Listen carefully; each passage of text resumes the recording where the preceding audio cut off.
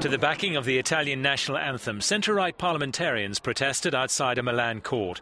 They were demonstrating against Silvio Berlusconi going on trial, charged with paying for sex with a minor. The protest came after judges ordered checks to be made on the 76-year-old after he claimed he could not attend the trial due to health problems. We have an interlocutor, a go-between, in whom we trust, and that is the President of the Republic. He is also the President of the High Council of Magistrates. He is a wise man on whom we know we can rely. Our concerns are for Italian democracy and justice. Berlusconi, who faces a series of trials this month, has been in hospital since Friday because of an eye problem.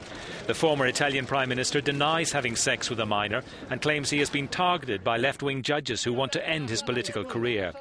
The court also rejected a request by the 76 year old's two main lawyers for the trial to be delayed as they had to attend a meeting of his People of Freedom Party.